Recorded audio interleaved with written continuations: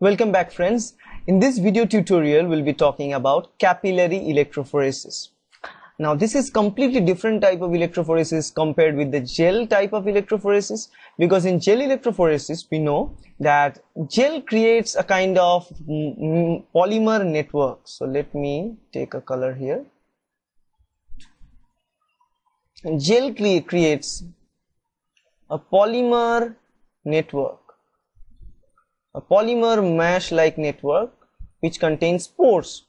And the material like DNA or protein they migrates through these pores right? And as the pore size is different in different regions this pore size is the determinant for the movement. And also the movement is determined by the charge or the electric field that is applied right? But in case of capillary electrophoresis uh, we separate different um, chemical molecules it could be biochemical molecules or other chemical molecules. So those chemical molecules will be separated based on their charge to mass mass ratio. When charge and their mass uh, both things are kind of a factor in this case will be seen so charge to mass ratio. Separation based on charge mass ratio. And this PowerPoint that we are going to uh, see it is designed by Kevin Olsen uh, for the chemistry and biochemistry fall 2003 so it's completely developed by Kevin Olson, and uh, this is a huge help for me as well as all of you who are understanding with his PowerPoint here. So I'm I'm not the copyright owner here. So so let's talk about this whole process. The process of capillary electrophoresis is very easy. Capillary means very thin tube it's a very very thin though I'm, I can not draw very thin. It's, it's the thinnest I can draw. So this is kind of capillary. In capillary you know that capillary process means it's a very thin tube if you just dip it into the water or any other uh, solution out there. The solution itself rise up there. So it's kind of structure like let's say uh, it filled with water. And you somehow uh, put those capillary tube in there and if you place this capillary tube here it, you can see that uh, this this whatever solution uh, that, that is placed here will start to rise in the in the upper region like that. So that's what is called the capillary action. Now this capillary thing is used in this case. Capillary is very thin tube. And this thin tube uh, in this case that we use is a flexible tube made up with a separate uh, kind of polymer. And we use this tube and to transfer all those components that are present there let's say mixture of components that we have and we inject those mixture of components somewhere and those injection injected component mixture will be separated based on their again the electric field. But in this case the electric field that we apply is huge. Let's say here 10 i mean 1000 volt per centimeter. This is a huge electric field compared with the uh, gel electrophoresis. And a very tiny electric field is enough but in this case huge electric voltage is required. And it's required to transfer it because of uh, the interaction that will be present between the wall of the capillary and the sample itself. So we use it to separate things. Let's say here this is the anode and cathode. Again the same things they're added. But this is the capillary let's say. The capillary is present by connecting anode and cathode together. Now here the idea is let's say we have a positively charged chemical factor out there right? And this positively charged factor. Okay so as you see this is a anode or positively charged. Let's say the protein that is positively charged out there. So it's a protein or not a protein let's say it's a chemical uh, molecule positively charged out there. Now that molecule will migrate from the positive towards the negative charged uh, region because obviously it will be attracted towards negative charged region. And that it will move through this capillary and as it is moving through capillary this positively charged chemical will also have an interaction with the wall of that capillary because the wall of capillary is produced in such a way. And we are going to see that. So so this movement of this molecule through this capillary uh, by two interaction one is that this molecule has let's say if i draw it let's say it's a cross section of that capillary. And that capillary has a particular charge charged molecule added uh, in the inner surface of that capillary let's say that is negatively charged. And the chemical that we want for the movement is positively charged. So the chemical is interacting with the negatively charged inner surface of the capillary as well as it, it is migrating towards the negatively charged cathode. That is the idea. And this in this case of these interactions two interactions that we see the movement towards the negative charge as well as attachment towards the negative charge in the inner surface. Combined together they form what we call the chemi-osmotic force out there electro-osmotic force or EOF usually. Not chemi it's in this case electro-osmotic force. And this electro-osmotic force is very very important. And that's why the most advantageous part about these capillary electrophoresis. Because you know in case of HPLC or gas chromatography is usually the process like a chromatography thing more used in uh, chemistry purposes than biological purpose gas chromatography, HPLC and all these things can be used. Mass spectrometry can also be attached for all this case. But the problem with HPLC and gas chromatography is that the separation of the liquid phase from the solid phase, separation of the running phase from the stagnant phase. But in this case, there is no point of doing this because in this case, it can easily be transferred uh, from uh, one place to another place without being this phase separation uh, to do. So that's the important thing here. So this electroosmotic uh, force is a very vital thing and that is developed due to these two interactions that I've told you. Now here the velocity of the movement, I mean the velocity for that uh, molecule to migrate depends on the field strength and the electrophoretic mobility. That's what I'm talking about. Electrophoretic mobility or electroosmotic force, whatever you say. So here it is the electrophoretic mobility that is denoted with this U EP, electrophoretic mobility. And that is determined by three different factors. One is the Z, that is the net charge of the analyte, in this case analyte, uh, whatever thing we, we check, the chemical molecule. The net charge in capital Z, and also uh, the N, that is the viscosity of the medium, that is obviously playing a vital role there. Because as we're talking about the capillary thing, definitely it is something to do with the viscosity and obviously uh, the Stokes radius. The Stokes radius is a thing, technical term I'm not going to explain, but Stokes radius is related with the mass of that analyte. As the higher the mass, the Stokes radius will be higher for that particular analyte. So as you can see it here, the variables that are governing the electrophoretic mobility here, charge, net charge, that is the capital Z, that's the playing a most vital role. If it is a higher charge, the mobility will be very fast. The radius means the Stokes radius. That means obviously it depends on uh, the molecular mass of that sample or analyte and the mobility that is depending upon the viscosity a little bit. So these are the three things. Electroosmotic flow EOF we've told you about this. The flow is a phenomena resulting when a solution is contained in a capillary with fixed charge along its wall that I've told you.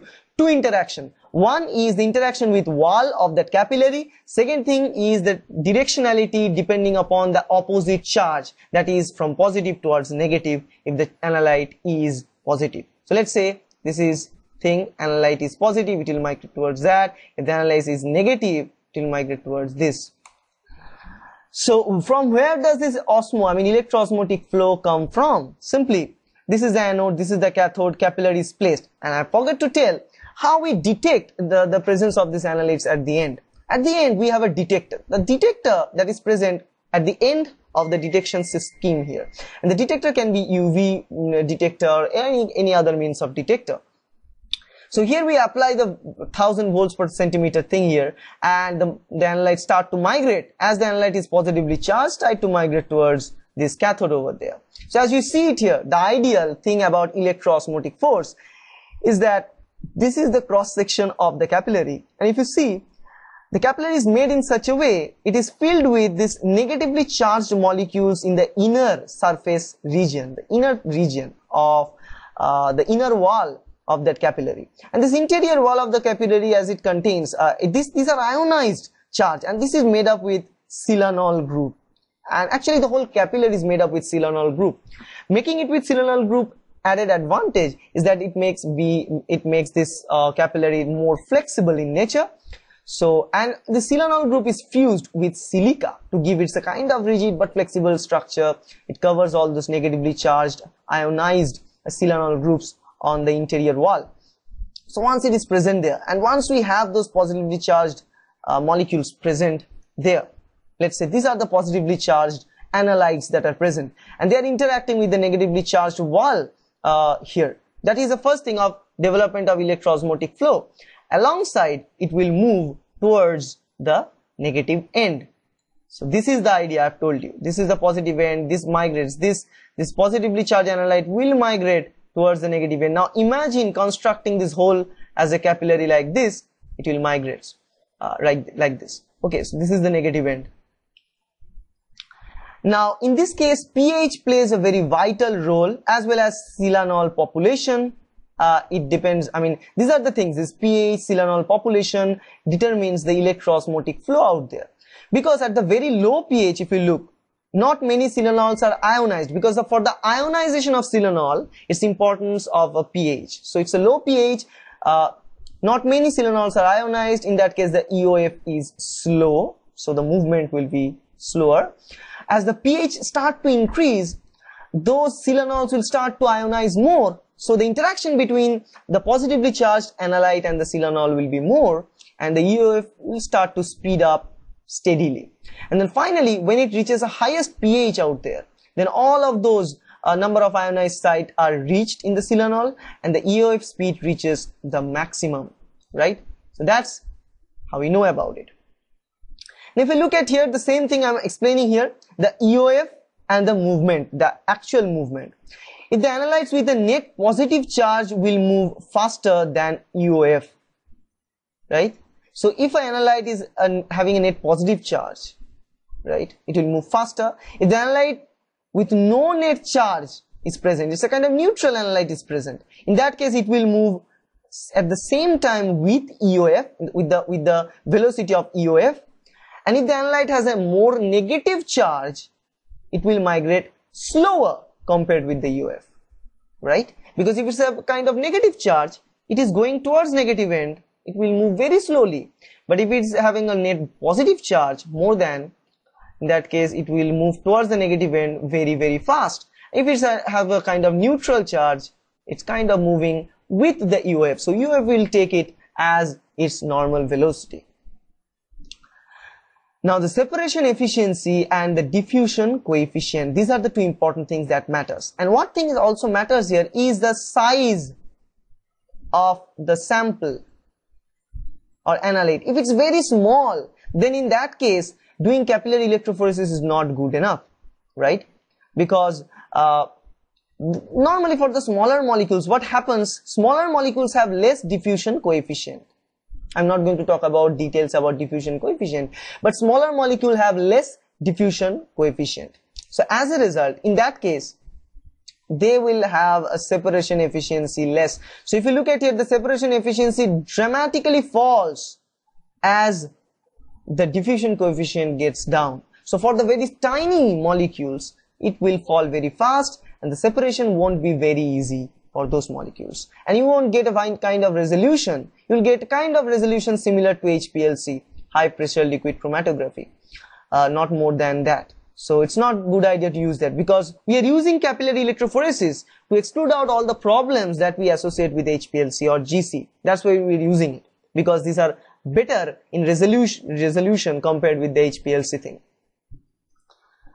And so what we do and how we do that, so we have a capillary uh, coming in. Let's say we have uh, this capillary thing, we have a detector at the end. This is the detector. And we have a region for injecting that analyte.